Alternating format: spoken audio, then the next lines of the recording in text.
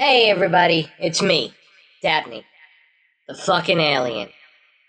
This Monday is an, is all new with a lengthy, detailed, angry, and slightly inebriated look at Plan 9 remake, as well as a special message to Donald Trump.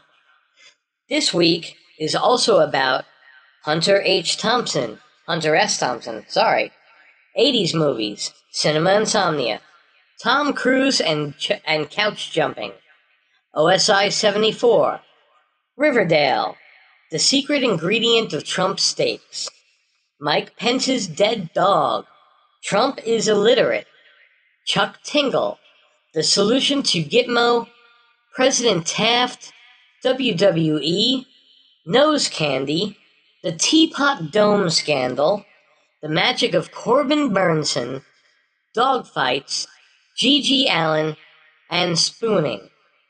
Steve's music swelling dramatically dramatic speech, a fake ending, smoking out with a Canadian, the history of our very own TV show, Flash Player, director John Johnson, Steve Stevens, Mike Michaels, Conrad Brooks, the web series Spade, the Deliverance Banjo, Karma, a massive jagged gallstone, the game Seventh Guest, Jazz Hands, Nilbog, the novelization.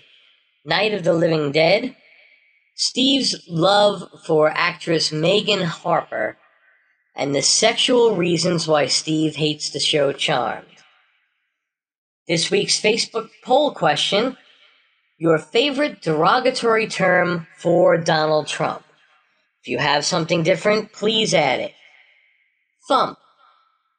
Trumple Thinskin. Mango Mussolini. Fuckface Von Clownstick.